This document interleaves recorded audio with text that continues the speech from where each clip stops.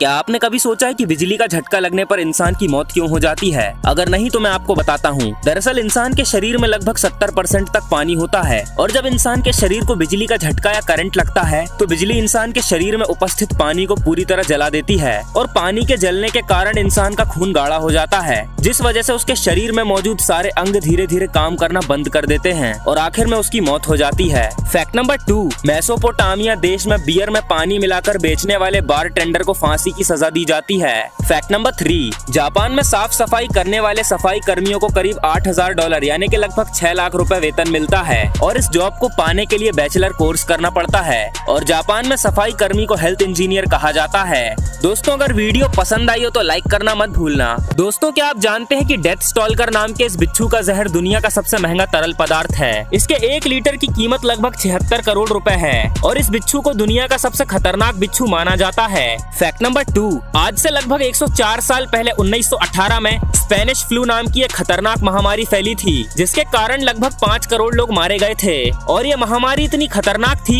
कि एक से दो दिन में ही व्यक्ति मौत के दरवाजे तक पहुँच जाता था।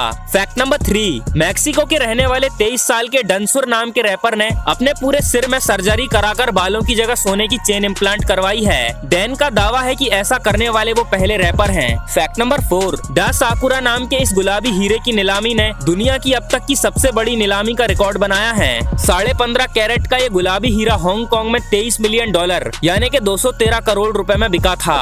फैक्ट नंबर फाइव वैज्ञानिकों के अनुसार ज़्यादा नाखून चबाने वाले इंसान अंदर से काफ़ी परेशान और टेंशन में होते हैं।